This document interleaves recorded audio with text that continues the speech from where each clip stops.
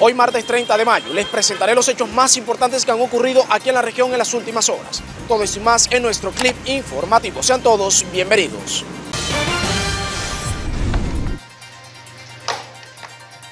Hueso de paleta ese. Sáqueselo todo. Sáqueselo, pues. todo. Y es que da tristeza, mire, un hueso de esto para darle a un niño. Supuestamente esto debe ser para un niño cada trocito. La Personería de Pueblo Bello aperturó medida preventiva contra el programa de alimentación escolar de la institución educativa Minas de Iracal por presuntas irregularidades en el suministro de alimentos. Del municipio de Pueblo Bello ha iniciado una preventiva sobre lo concerniente al plan de alimentación escolar en el municipio de Pueblo Bello debido a que nuevamente existen denuncias por medio de los padres de familia por el Estado y por las cantidades proporcionadas en los alimentos que se están llevando a los niños en los corregimientos de las minas de Iracán. Ciudadanos denuncian demoras y largas filas para trámites en el CISBEN. que aquí hacen perder a uno el tiempo. Ya yo con esta he venido dos veces porque me pusieron en inhabilitados y yo soy una mujer que estoy enferma. Tengo un proceso médico y no tengo CISBEN. Tras de eso vine, traje mis papeles y me quedaron a hacer la visita. Todavía es la hora, la estoy esperando. O sea, muy demorado. Porque mira, yo vine aquí fue en febrero que me diligenciaran la, el trámite para el niño que me aparece con 7 años en el CISBEN.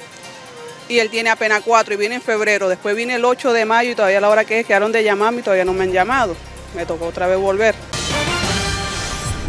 El alcalde Omar Benjumea pide al gobierno nacional poner en funcionamiento las instalaciones del Hogar de Paso, una obra que se encuentra inconclusa en el municipio de Agustín Codazzi.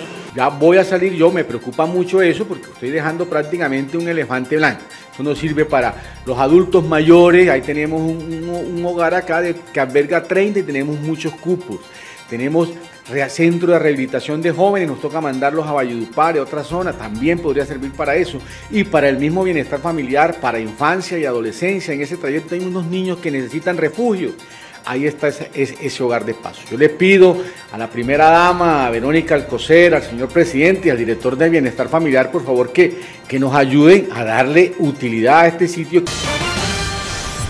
En la vereda El Trevo de Pajonal, jurisdicción del municipio de Chimichagua, Cesar, fue asesinado a tiros el pastor evangélico Carlos Andrés Pérez por sujetos armados para despojarlo de su motocicleta.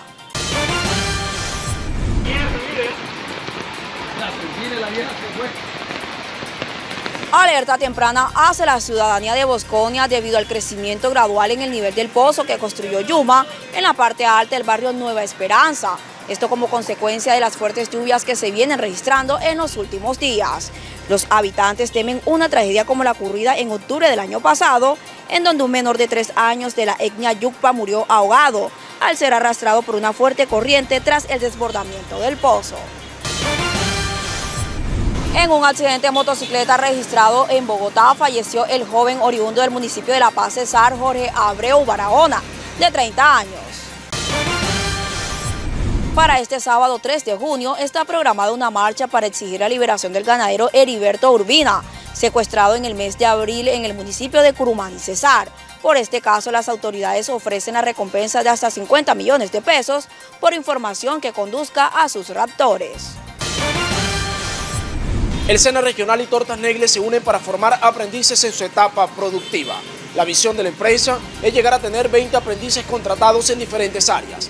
Y la misión es su responsabilidad social para ayudar a bajar la tasa de desempleo en el país. En estos momentos la empresa cuenta con cinco aprendices cenas en las áreas cocina, servicio al cliente y talento humano. La visión que tiene la empresa es llegar a tener 20 aprendices cena y ya estamos trabajando en esa alianza. Hemos recibido todas las hojas de vida para las diferentes áreas de la empresa. Tenemos la responsabilidad social de ayudar a bajar las tasas de desempleo en el país.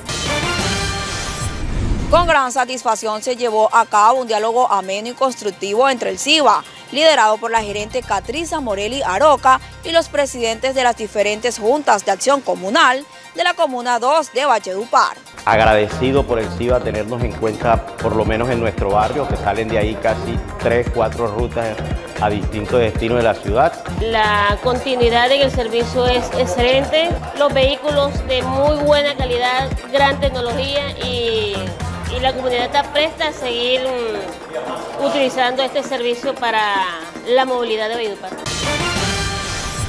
Después de varios meses de conversaciones, la Sociedad de Autores y Compositores de Colombia, SAICO, y la Asociación de Bares de Colombia llegaron a un acuerdo que define las condiciones para el pago de los derechos de autor por la ejecución de música en vivo o fonograbada en establecimientos de comercios afiliados a ASO Bares.